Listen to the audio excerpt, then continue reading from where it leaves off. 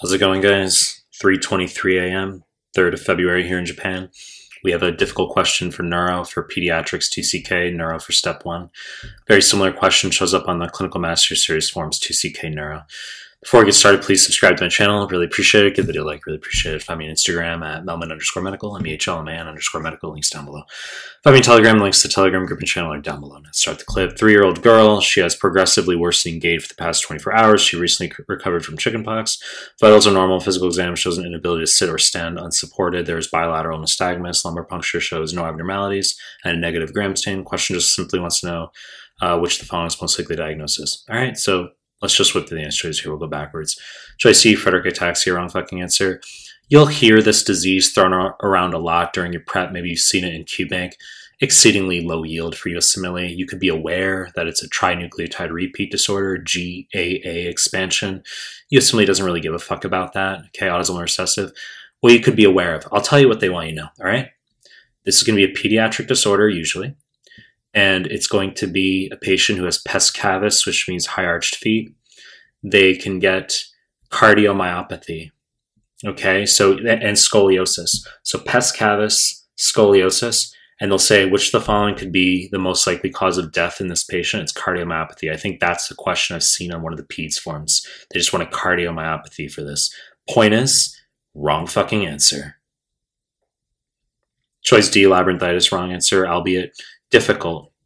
And uh, I've made a prior YouTube uh, question on this because this is a repeat question on one of the step one forms. You need to know this is viral infection followed by tinnitus and or vertigo. Okay. And they might tell you in the question that uh, the light reflex is distorted. They are not talking about anything to do with the eyes. They are talking about some tympanic light reflex that could reflect uh, abnormal inner ear pressure if a patient has congestion, uh, such as after a viral infection. Okay, so this is inflammation of the inner ear, labyrinthitis, tinnitus, and or vertigo following a viral infection. Wrong fucking answer. Choice C, benign paroxysmal positional vertigo. Uh, BPPV, wrong answer. So this is going to be a patient who has vomiting with the room spinning idiopathically for about 30 seconds. That's literally it. Okay. And they want you to know you do a Dix Hallpike maneuver to diagnose, Epley maneuver to treat. Dix Hallpike maneuver is when the patient during physical exam is leaned back quickly with the neck turned, and that can reproduce symptoms. Okay. I'm actually going to tell you the highest yield point about this. Extremely fucking weird. Not my opinion. It's on the NBME exams. They want you to know the cause of BPPV is semi posterior semicircular canal otolith.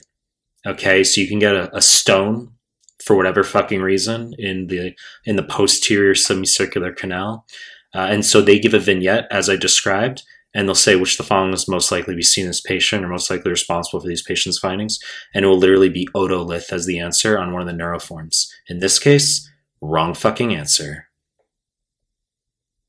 Choice B, ataxia telangiectasia, wrong answer, low yield. Uh, autosomal recessive chromosome 11 uh, ATM gene. Literally, a patient will have uh, abnormal balance ataxia with telangiectasias. Okay, so you say, well, what would ever be the point? What would they ever ask? They could ask uh, propensity for DNA breaks. Okay, double-stranded DNA breaks. That is something that has been thrown around. Increased risk of malignancy.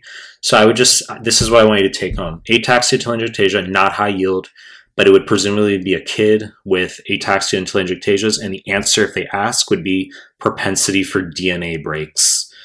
Wrong fucking answer.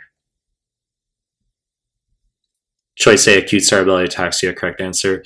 This is just viral infection, oftentimes chickenpox. If you check Google, you literally type in viral infection, acute cerebellar ataxia. They'll tell you that this can be seen following viral infections in kids uh, often chickenpox. Okay, now this is literally just inflammation of the cerebellum after viral infection. Now, if you think this is extremely weird, it's actually not too crazy if you are aware of other diagnoses, such as toxic synovitis, transient synovitis, high yield for pediatrics. If you're studying for step one, you, you have no idea what that is either.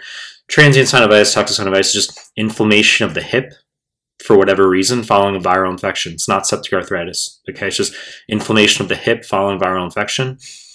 Following viral infections, we can also get de Quervain thyroiditis, right? I mean, that could be seen as weird. Like, why inflammation of the thyroid gland following a viral infection? So, de Quervain thyroiditis.